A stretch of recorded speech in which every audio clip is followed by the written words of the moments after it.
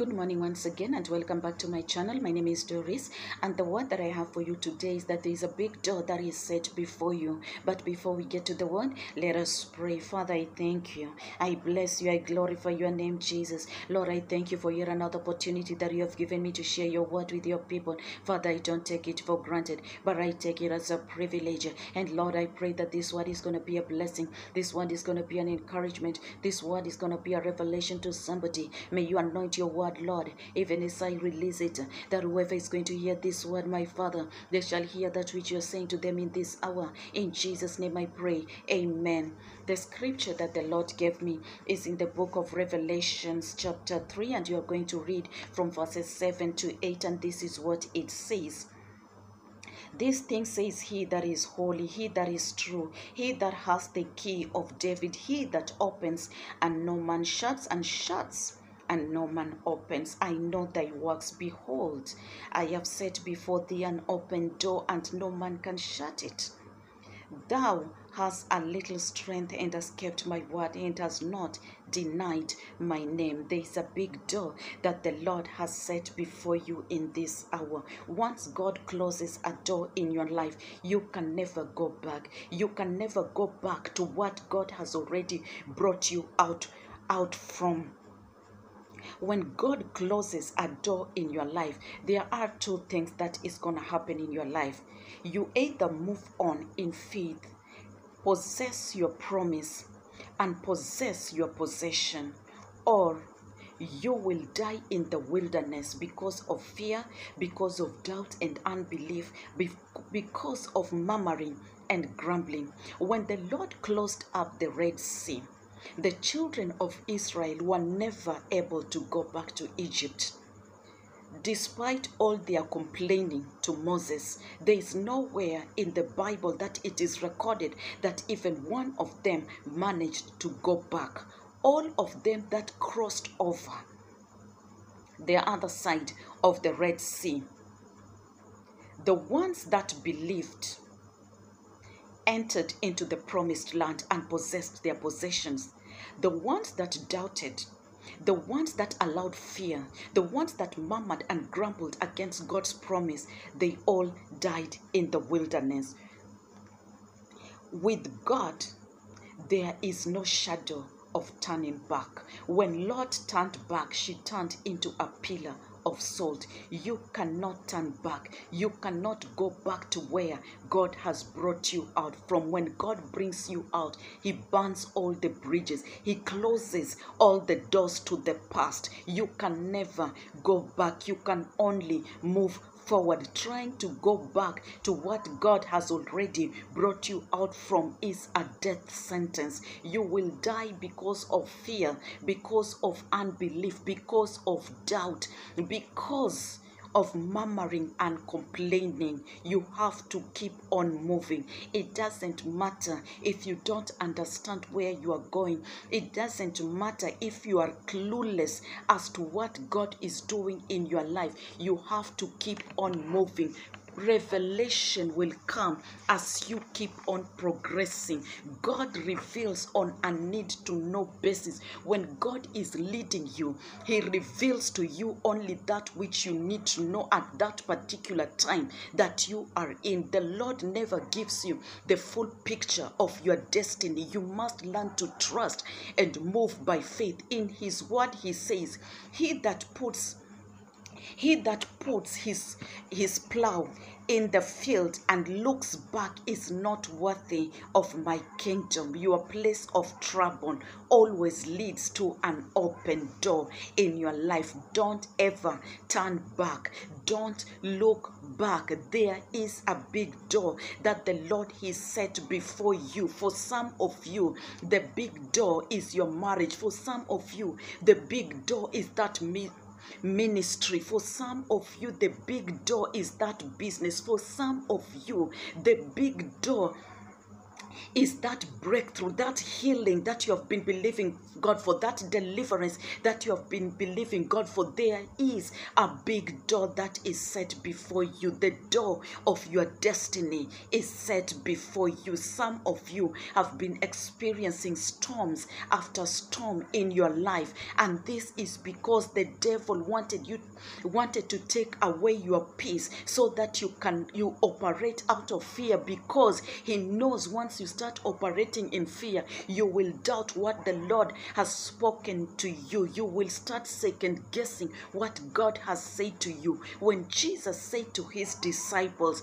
that we are going on the other side there is a storm that rose up to hinder them from crossing over. The enemy wanted them to focus on the storm so that fear can get into them. But on the other side, there was an assignment of deliverance that awaited them. And the fact that Jesus has said that they were going on the other side, they could not turn back. They had to keep on moving. When God speaks, move with that word that the Lord has spoken to you. Some of you have been experiencing great warfare in your life, especially this year.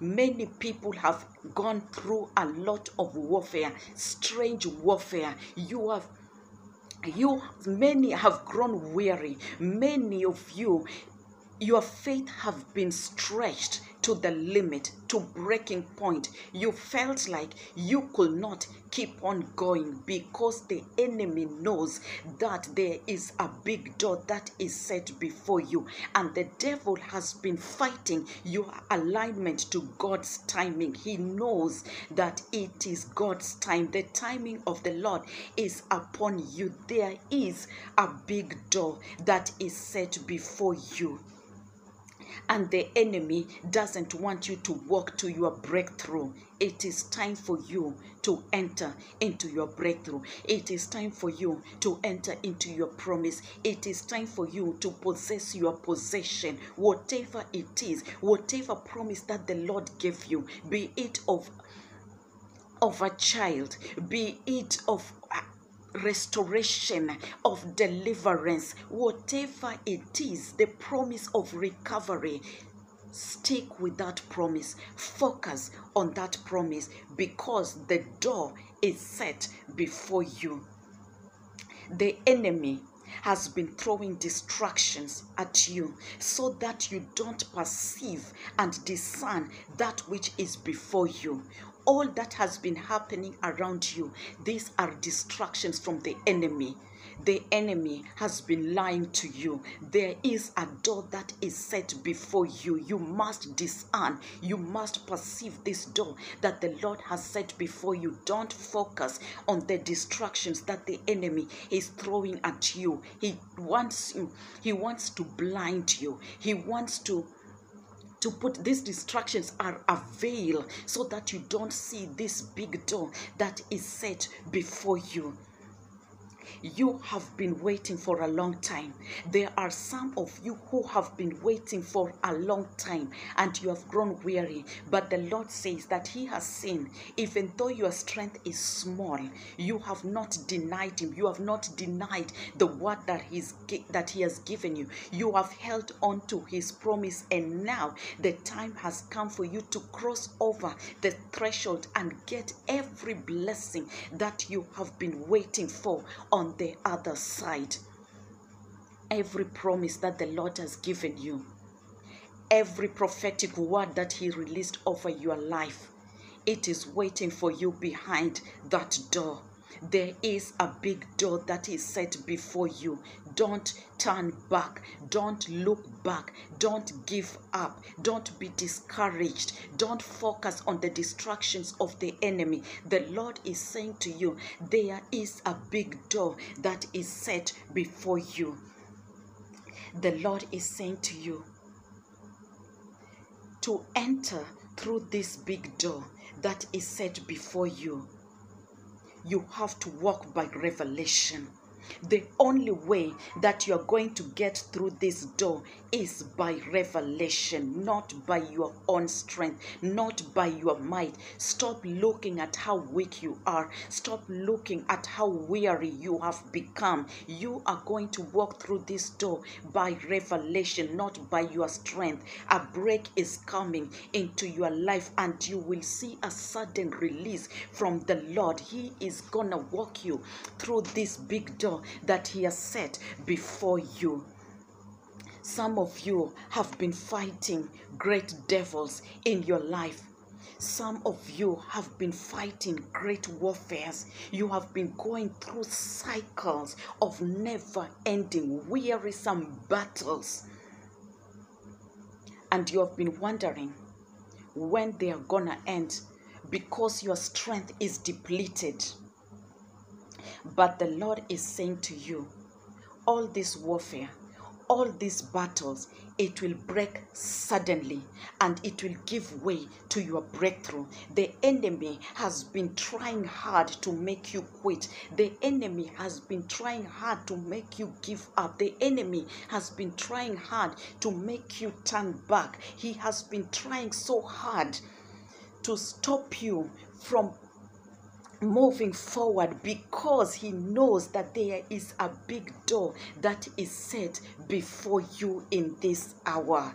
No one can shut this door that the Lord has set before you. No one can shut this door that the Lord is opening before you in this hour because this is the door of your destiny. You are walking into your God ordained destiny, that which you are ordained, that which the purpose of your life for which the Lord created you for. The door is set before you.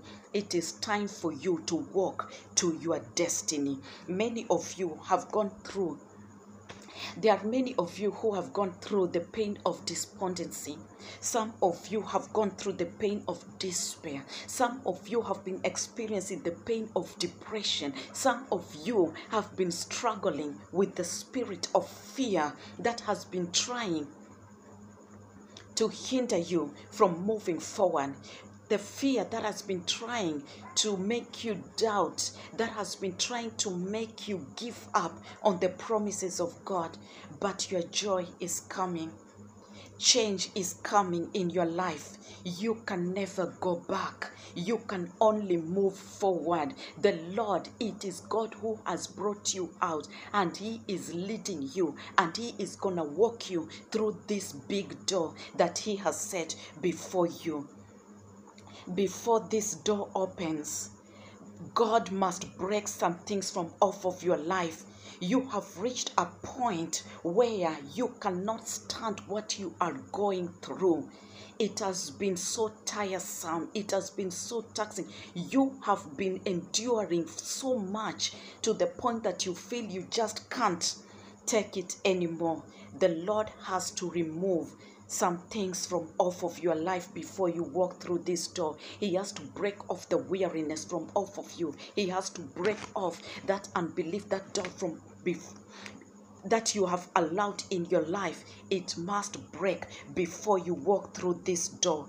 And the Lord is saying to you, you have done you have done all that you know to do. Now it is time for you to stand. Stand in faith because He is gonna stand for you in this hour. Some of you have become so serious because of all the warfare that you have been going through, because of all the battles that you have been going through. You have become so serious in everything that you do. You have been focusing so much on the pain. You have been focusing so much on your bitter expectations. You have forgotten how to relax. You have forgotten how to play. You have forgotten how to rest. And the Lord is saying to you, learn to be like a child again. Learn to play again. The Lord is saying to you, I am restoring that childlike faith that you once had, but lost it because of all the warfare. You lost it because of all the battles. You have become too serious The door of your destiny is opening on your behalf. The big door is set before you, and you are moving into a new place. Some of you, you have been worrying for so long. But now it is time for you to praise. It is time for you to worship. Worship the Lord in this hour. Praise Him until worship comes. It is time for you to move from being a worshiper and become worship unto the Lord. The Lord created you for worship. Your worship is going to bring the Lord's glory upon you, and it is His glory which is going to walk you through this big door of destiny. In His glory, there is no resistance. In His glory, there is no resistance. You are moving and you're going to enter through this big door that the Lord has set before you.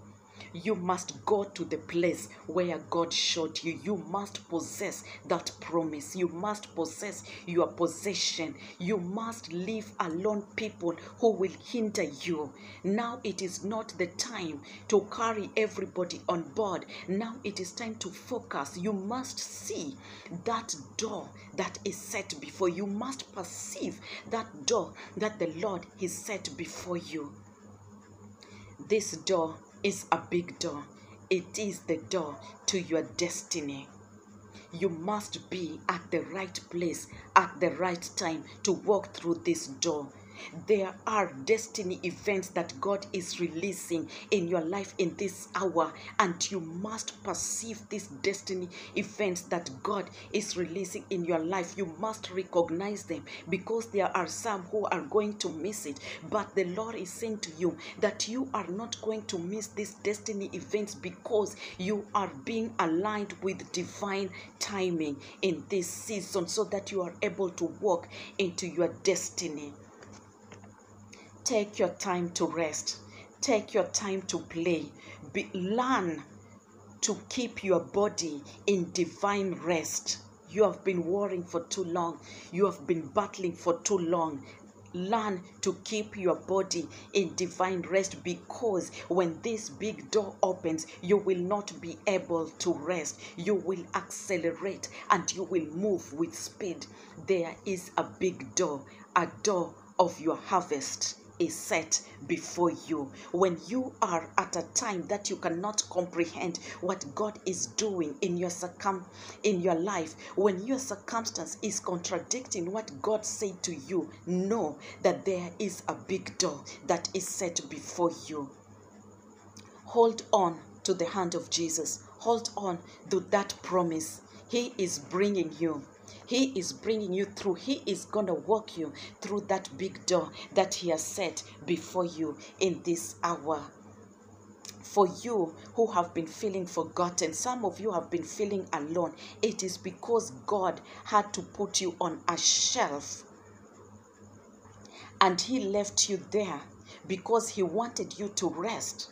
It was His way of giving you a Sabbath of some sort so that you can relax so that you can continue dreaming. So continue dreaming no matter what, because He is gonna bring you out of that shelf. And when He brings you out, He's gonna bring you out with a new mantle, He's gonna bring you out with a new anointing. You are coming out a new you and he needed you to be ready for this big door that he has set before you. The lord is taking you out of that shelf and that of that shelf and it is time for you to move. Move into your destiny. Move to where jesus is. It is a new day. It is a new you. The door is set before you. The big door of your destiny is set before you don't focus on the distraction that the enemy is throwing at you. He doesn't want you to discern the door that the Lord has set before you. May the Lord open your eyes and your ears of understanding to see this door that He has opened for you in this hour. You are moving into a new day. May the Lord abundantly bless you. And remember that your Father loves you. He loves you with an everlasting love. And there is nothing that can separate you from His love, which is in Christ Jesus. And I love you guys and I appreciate you so much. Thank you for liking and sharing my videos because by liking and sharing my videos, you are helping me to send this gospel to the ends of the world. And that is the Great Commission. And I thank you for, sub- for subscribing to my channel. Thank you so much for your giving. For all of you who have been supporting this ministry, God bless you and increase you in every area of your life. Remember that I am praying for you and I am standing with you in prayer. May the Lord bless you.